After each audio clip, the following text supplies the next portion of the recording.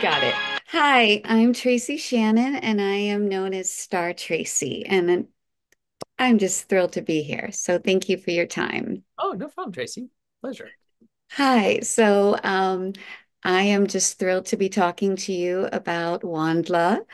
And um, when I get these opportunities, I do a little peeking around before I try to watch anything about it.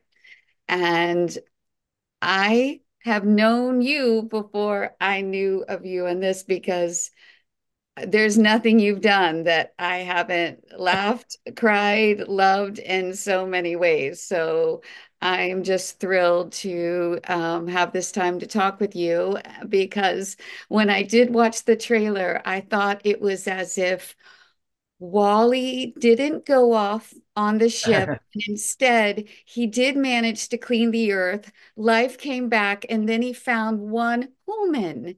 Right. It's just, it had that kind of heart to it to me. Like, if, then he found somehow he raised a human down there and brought it up. And then she got to investigate Earth. So, I have to to to just know um, how you found this book. Which, by the way, the second thing I loved about it is that um, the author, the Spiderwick Chronicles, are a family favorite. So, just tell me about how you found them and fell in love, and helped make this come to life. Sure. Uh, yeah, Tony DiTerlizzi wrote, uh, yeah, co-wrote Spiderwick and wrote uh, Wondla, and uh, you know when and Tony, just you know, Tony was involved in the show and still is involved as we're working on later seasons right now, and um, which is great to have the author with you versus like, oh, we're adapting someone's book, but they don't have a voice in it. So it's great that he has a he has a voice in the adaptation of his book to the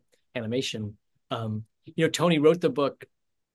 He was inspired by his daughter um, because he was raising his daughter, knowing he was going to have to send let her go out into the world someday, right? Without him there to offer guidance. And so he sort of took that idea and expanded it into this extreme version, which is like, you know, the last human being raised, potentially the last human being raised in this sanctuary bunker and then being put out into the world, but it's crazy world in an alien world. So he, I love that he took this sort of very sort of basic thing about letting your child go and then turned it into this sort of took this sci sci-fi spin on it.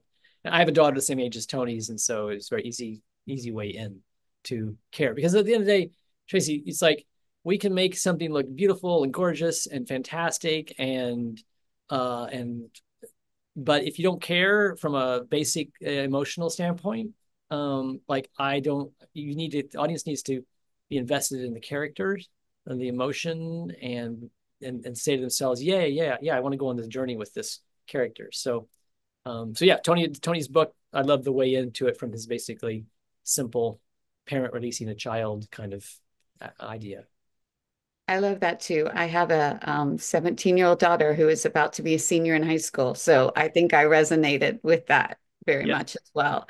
And you led me straight into my next question, which is it's a trilogy of books. Is each season representative of a, a book? Uh, yes yeah we're basically adapting the whole uh, the whole trilogy um you know we we've explored some other potential storylines as as you'll you'll see, but again, all with sort of Tony's blessing. So um, so again, when things are true to the books, that's uh, great, and then if things digress from or, or, you know deviate, I mean, from the books, um, everybody should know that that Tony was um, you know he's a part of it. yeah, totally, hundred percent. Oh, that's awesome. I love He's that. just Um, excited about getting to be able to play with the with his Wondla, you know, toys again, basically.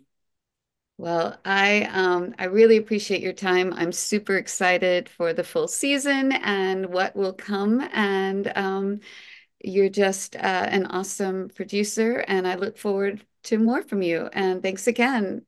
All right. Thanks, JC. Thank you.